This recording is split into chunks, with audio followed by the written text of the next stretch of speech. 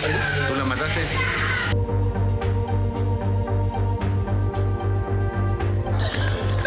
años no! ¡Cadena perpetua!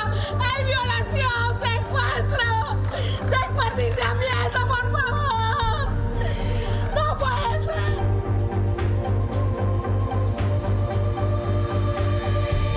Pero yo no creo que ese escribe hecho entre dos señores. A mi sobrina la ha descuartizado. De varios. Sí, entre varios. Yo quiero que se aclarezca todo esto. Aquí es el lugar donde vive el asesino confeso de mi hermano. ¿Dónde lo han tirado? En el río, pues, por pedazos, por parte. ¿Por qué parte lo han botado? Ah, es por la cancha, por el basurero. ¿Tú lo has descuartizado? Sí. Los dos han sido un- unos monstruos que tienen que pagar. Yo pido por favor que le den cadena perpetua. Si hubiera muerte, yo pediría. Queremos velarle su cuerpo, señor, por favor. Pido, por favor, que le entreguen su resto. Que obliguen a esa persona.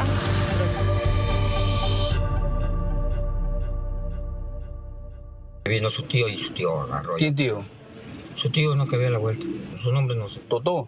Ah. ¿Y ahí dónde lo mató? ¿En tu Eh, casa? Sí, y cuando yo volteé, ya se había corrido allá. ¿Y qué? ¿Cómo lo mató? ¿Qué le hizo? La ahorcó. ¿Qué tienes que decir? ¿Estás arrepentido? Con total frialdad, este sujeto, identificado como Javier César Campos Rodríguez, alias Javicho o Peluca, narra a los agentes de la de Pincri de San Martín de Porres la forma en la que él, junto a un cómplice, acabaron con la vida de una señorita de 18 años de edad. Cercenaron su cuerpo e intentaron esparcirlo por diferentes lugares de la ciudad de Lima. Xiomara Walparrimachi Ramos fue la víctima de estos dos hombres. ¿Tú participaste? No. Ah, No, cuerpo. ¿Y el cuerpo? El cuerpo. Ah, lo desapareció. ¿Quién lo desapareció? Él, pe. ¿O tú? Él o a medio. pe. ¿Cómo, pe? ¿Cómo? ¿Cómo a medias? Ah, ¿Cómo a medias, pe, hijo? la cortó, pe. ¿Ah? La cortó. ¿Él la cortó? Por los dos, pe, ya. ¿Cómo los dos? No entiendo, no Lo han entiendo. descuartizado. Sí, pe. ¿Con qué lo han descuartizado? Ah, ¿Con qué? no se entró con machete. Alias Peluca parece estar harto del interrogatorio y de tratar de engañar a los detectives policiales. Se indica a este hombre como su cómplice y quien habría sido el responsable de asfixiar a la madre de un niño de tres años de edad, Pedro Martín Guanilo Tamarria. ¿Tú la mataste, eh? ¿Tú la mataste? Ah, ¿la conocías? ¿Tu familia? Alega ser inocente e incluso tener un lazo familiar con la víctima. Pero la misma hermana de Xiomara, Dayana, desmiente sus dichos. Para ella fueron de angustia y desesperación los días en los que no sabía ni una noticia de la menor de las cuatro hermanas. Nosotros pedimos justicia y que se dé una condena, una cadena perpetua, ya que aún ha pasado tantos días y ni siquiera podemos darle una sepultura a mi hermana, ya que solamente han encontrado restos de su cuerpo. Según sus propias deducciones, el domingo 5 de febrero habrían ocurrido los hechos. Xiomara habría recaído en el consumo de estupefacientes al que habría sido inducida, siendo menor de edad, por Javier alias Peluca. Ese día, ella habría ido a reclamar cinco soles que le debía el hombre de 54 años de edad. ¿Tú participaste? No. Ah, no. Nosotros el año pasado la hemos internado en un centro de rehabilitación, en la cual cuando ella sale, ella ya no estaba consumiendo, pero logra pasar por ahí, ya que mi, mi familia de parte de papá vive a cinco casas donde se encuentra hallado su cuerpo, que vive el, el hombre que lo asesina a mi hermano. Entonces ella constantemente pasaba por ahí. El 10 de febrero, y luego de buscar en varios lugares, interpusieron denuncia por desaparición y esa misma noche, Javier César, alias Peluca, es intervenido por tráfico ilícito de drogas por personal terna de la misma de Pincri de San Martín de Porres. Días después, los familiares señalan a la policía que habrían visto por última vez a Xiomara cerca a la vivienda de alias Peluca. Los agentes policiales ataron los hilos sueltos.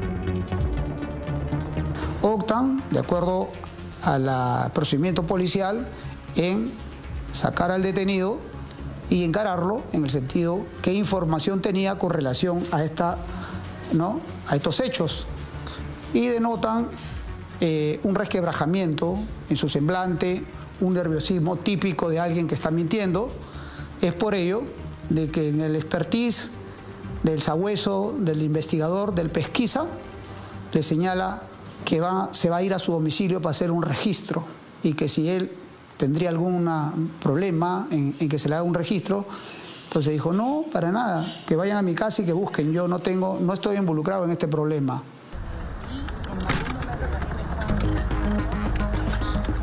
Este es el interior de la vivienda de alias Peluca. Piso de tierra, calaminas. Dentro de ese desorden, los agentes encontraron una pista importante.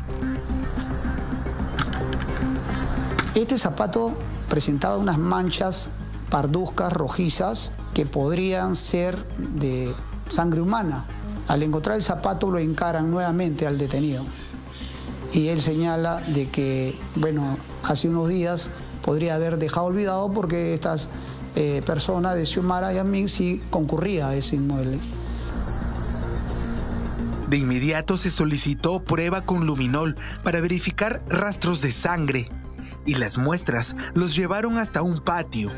En ese lugar cavaron y a casi 25 centímetros de profundidad encontraron dentro de una caja una parte del cuerpo.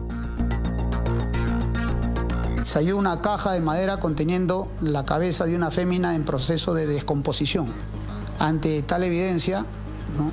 no le quedó más que reconocer y confesó que en una casa contigua, el número 485, también Quiñones, una casa también abandonada, se puede encontrar eh, el segundo hallazgo. Alias Javicho señaló que ese domingo 5 de febrero, Pedro Guanilo fue quien se enfrascó en una pelea con Xiomara que terminó con su muerte y que ambos, ayudados de una sierra, cortaron el cuerpo en cinco partes. La cabeza la tenían enterrada, el resto la dejaron en una casa contigua, aparentemente abandonada. La encontramos en un cilindro pequeño de cartón envuelto en bolsas de rafia, los mismos que al ser aperturado se halló el tronco de la fémina y las extremidades inferiores. Y habrían matado animales para disimular los olores propios de la descomposición del cuerpo. Que sí se expendía un olor a putrefacto.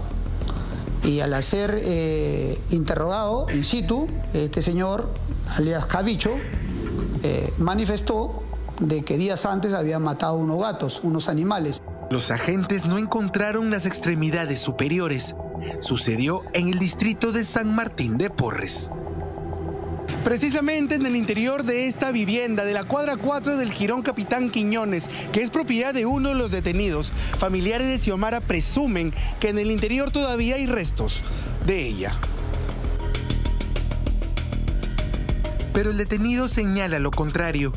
Se habría deshecho de los brazos y de las manos por temor a la identificación por huellas dactilares. Desde arriba pues, por pedazos, por parte. ¿Y qué arriba de acá? ¿Por qué parte lo han botado? Ay, por la cancha, por el esto, por el, el basurero. Yo tengo hijas y no es posible, así mi sobrina haya sido lo que sea, de repente como toda joven, ha andado en la calle, le ha gustado, como dice, ¿no? Pasear, salir, bailar. No ha sido posible que este daño le hayan hecho tan grande.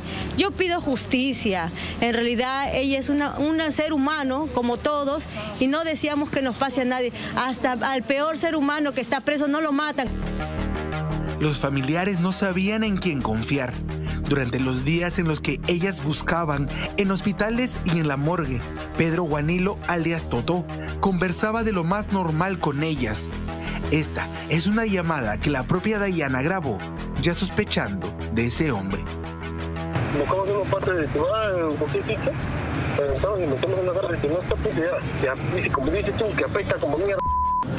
Ya, mi hermano. Tapa leche, weón donde esté, donde, bajo tierra, los no. y ya, pues, nada más. Y está muerta la, la chora ya, pues.